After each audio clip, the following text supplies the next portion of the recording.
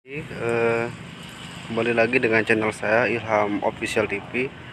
Di sini saya mau membagikan eh, hasil pertumbuhan tanaman benih R7 yang saya dampingi dengan mekanisme pola tanam jajar legowo ya teman-teman.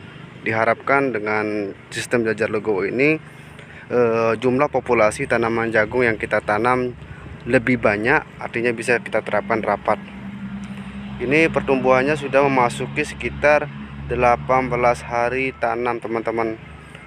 Pertumbuhannya merata dan ini bisa kita pastikan bahwa benihnya ini memang benih-benih yang sangat berkualitas sehingga tidak membuat teman-teman petani kita menjadi rugi dalam proses penanaman di musim kemarau pertama ini. R7 sendiri merupakan benih keluaran dari raja atau Restu Agropro Jaya Mas yang sudah lama memberikan mitra kepada petani sehingga teman-teman petani di sini tidak pernah kapok dan artinya selalu antusias untuk menanam benih R7 ini.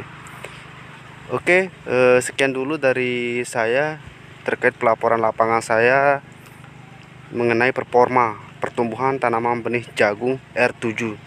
Salam petani R7 mitra terbaik petani Indonesia.